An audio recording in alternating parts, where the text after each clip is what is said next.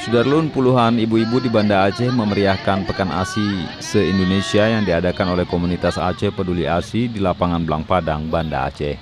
Kegiatan ini diperingati tiap pekan pertama bulan Agustus yang bertujuan untuk menyadarkan masyarakat terhadap pentingnya ASI bagi anak-anak.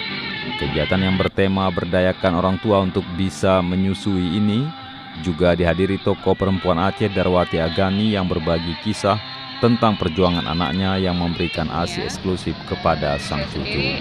juga merupakan seorang nenek ya, ini secara pribadi merupakan seorang nenek juga akan memberikan perhatian yang lebih uh, kepada anak saya, bagaimana dia bisa memberikan ASI eksklusif kepada anaknya, uh, nggak hanya sampai usia 6 bulan, tapi juga bisa memberikan ASI sampai uh, uh, apa anaknya itu berusia 2 tahun. Kegiatan itu juga dirangkai dengan senam pijat eksitosin konseling gratis, dan berbagai games yang melibatkan ibu-ibu.